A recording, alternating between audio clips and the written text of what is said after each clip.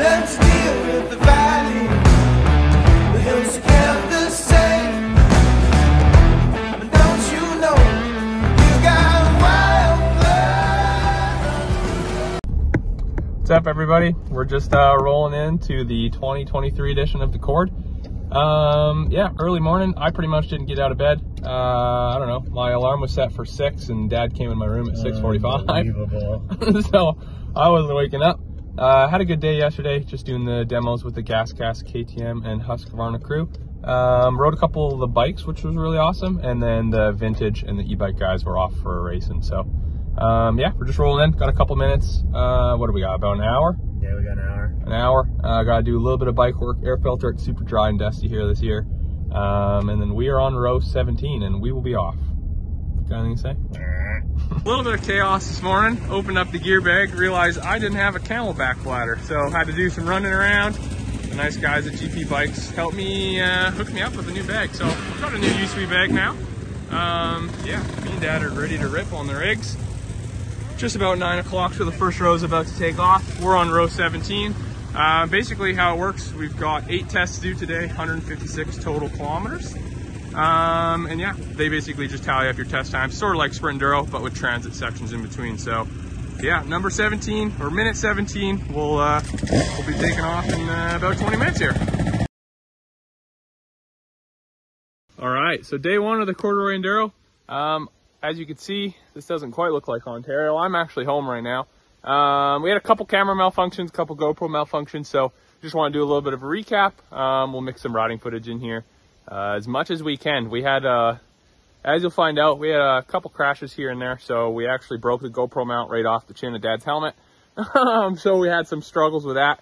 weren't able to ride with it too much, but uh, yeah. So day one uh, went pretty good for us. We were yeah 156 kilometers, eight tests of riding. Um, just trying to really get into the swing of things. Really, it's a different type of racing. Um, not so much like the sprint enduros that we've been doing. Like same idea, but the tests were quite a bit longer. So we had eight tests um, today, and yeah, just getting everything sorted out. Um, started out on the demo course, uh, which we'll have a little bit of footage of actually. So basically, you kind of line up in your minutes. So we were minute number 17. Um, the first minute starts right at 9 o'clock or 8 o'clock on Sunday. Um, and then, yeah, when the first minute takes off, then minute by minute by minute, everyone lines up on the row um, and gets started off, which is pretty cool. So you go and hammer the loop. It's called the demo course because that is what we were doing all the demos on. So GasGas, KTM, Husky all come out, a bunch of bikes, a couple other brands as well. Um, and they flip it for racing. So we did that test um, and then transfer over where I believe we have GoPro footage of the second test in Boardwalk. Uh, that is where Dad crashed and broke the mount. So we'll see if we got some crash footage. That'll be fantastic.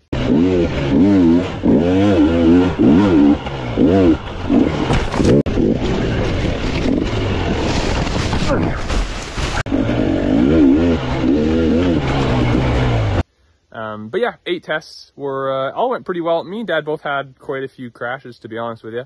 Um, it was really dry this year. It's usually quite wet. Just Ontario, it's usually raining, um, but it was really dry. So lots of big bomb holes. Um, and it was weird the way the Canadian Shield rock comes out of the ground. It makes it a little bit tricky because you get big ruts full of silty, kind of poofy dirt almost, and then you hit them, and there's ruts, rocks, and stuff in the middle. So made for a lot of crashing. Um, and yeah, we were pretty pushed after 156 kilometers of riding, even if it is mostly, uh, like your transit sections aren't super gnarly. They're mostly like fire road, sled trail, quad trail kind of stuff. Um, but it still takes a beating out of you after uh, the tests were really gnarly. So you'll see a bit of footage there. Um, so yeah, we both uh, finished decently consistent. I didn't have a great day on Saturday. Uh, definitely struggled a bit just with the terrain. And uh, as soon as you tried to start getting the flow, you started to push along pretty hard. Then you usually crashed or hit something or got kicked. Um, in the demo course, I had the biggest kick of my life. I thought that was it for me, and that was only a couple minutes in. So, um, but yeah, we uh, I fell asleep on the way home. You'll see a video right now of that. Somebody had a long day. Gnarly race today. We're gonna sleep well tonight. And then, uh, yeah, we went back to, we were staying at Bruce Moffat's house, which was super nice. Um, had some supper, and then went to bed at like eight. So yeah, that was uh, day one, and we'll have day two coming right up.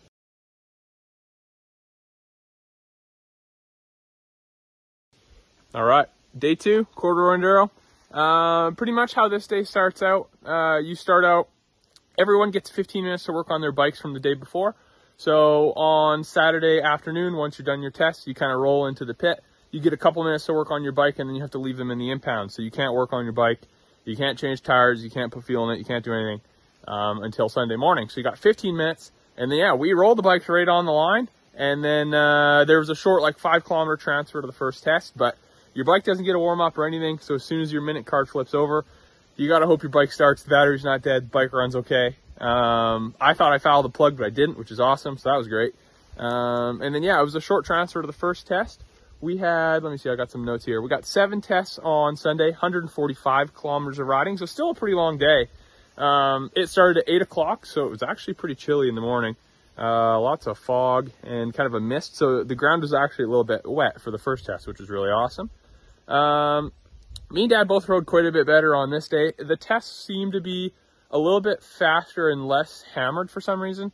Um, so you can kind of piece them together a little bit more, more kind of like the train we're used to riding. So a little bit more consistent, a little bit quicker. Uh, the only problem with Sunday being quicker and the trails not being quite so kicked out or anything, and everyone kind of getting used to it, was the times were way closer to each other. So if you felt like you had a really good day, so did everybody else, uh, which made that quite a bit trickier. Um, we still had our tip overs here and there. Uh, I know Dad lost a little bit more time than he was hoping for, um, but we did get some more GoPro footage, something on his chest. I don't know if we got the chin mount fixed. I can't quite remember, but uh, yeah, 145 kilometers. I was pooched after. Uh, I was cramping up a little bit. Dad was cramping up.